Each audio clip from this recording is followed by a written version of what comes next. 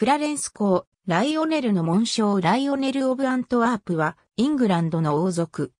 イングランド王エドワード3世と、王妃フィリッパ・オブ・エノーの息子で、成人に達した2番目の王子。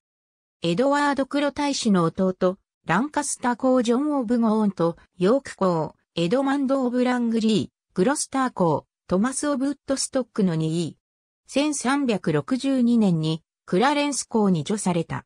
アントワープで生まれたため、この名で呼ばれる。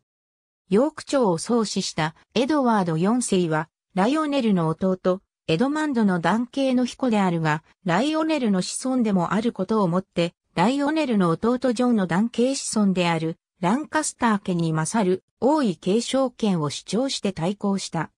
1338年、両親が百年戦争における対フランスの前線にしていた滞在地、フランドルのアントウェルペンで誕生した。両親は以後もフランドルに留まり、2年後の1340年に弟のジョンがゴーントで生まれている。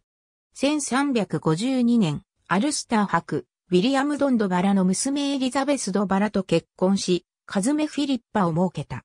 フィリッパは第三代マーチ伯、エドマンド・モーティマーと結婚し、彼女が産んだ孫、ロジャー・モーティマーは、このなかったリチャード2世の王位継承者に指名された。ソーソン・アンは、リチャード・オブ・コニスバラと結婚、第三代ヨーク公、リチャード・プランタジネットの母となった。1359年に、父がフランス遠征に出向くと、兄の黒大使や弟たちと共に従軍したが成果が上がらず、翌1360年にブレキニー条約が締結され、英仏両国は和睦した。妻エリザベスに仕えていたジェフリー・調査も従軍しており、ライオネルと同行したことや1360年に一時捕虜になったり、解放され、ライオネル夫妻に再度仕えたことが記録されている。エリザベスと死別後、ミラノの選手がアレアッツォ2世、ビスコンティの娘ビオランテと1368年に再婚したが、同年に父に先立って死去。ビオランテとの間に子はなかった。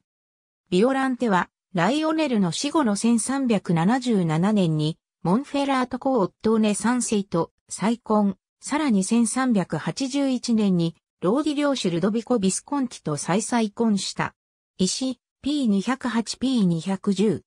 森、P139、P140、P156、P164、P176、石、P218。